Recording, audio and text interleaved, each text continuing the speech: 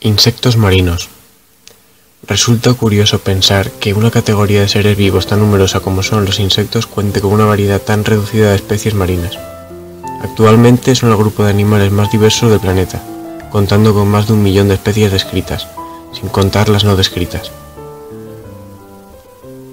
Es por esto por lo que resulta obvio pensar, ¿por qué si hay tantas especies de insectos en el planeta solamente hay unas pocas en agua salada y tantas en tierra? La razón es adaptación. Los insectos acuáticos, tanto marinos como de agua dulce, provienen de antepasados terrestres que tuvieron que adaptarse al medio acuático. En agua dulce los insectos no tuvieron ningún problema en adaptarse, pues eran aguas tranquilas y libres. Sin embargo, los marinos no tuvieron tanta suerte, ya que los nichos ecológicos ya habían sido ocupados por otros artrópodos como los crustáceos. Este es un olobates, un insecto marino que vive en mitad de los océanos.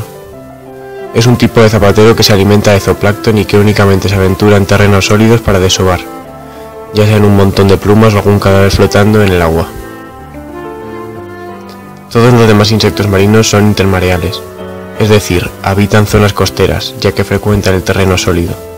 Hay varias especies de insectos intermareales, como el escarabajo rover, que vive en las playas y busca refugio cuando suben las mareas mucho o el mosquito cádiz, que deposita sus huevos en el agua salada.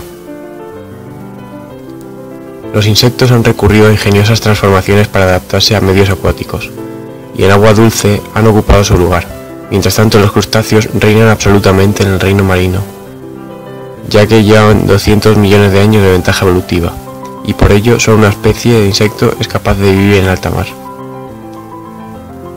Puesto que no existe más que una especie de insecto que vive en alta mar y éste no llega a sumergirse sino que flota en la superficie del agua, no debe disponer de un mecanismo osmótico para contrarrestar la salinidad tanto como un organismo que sí se sumerge en el agua marina.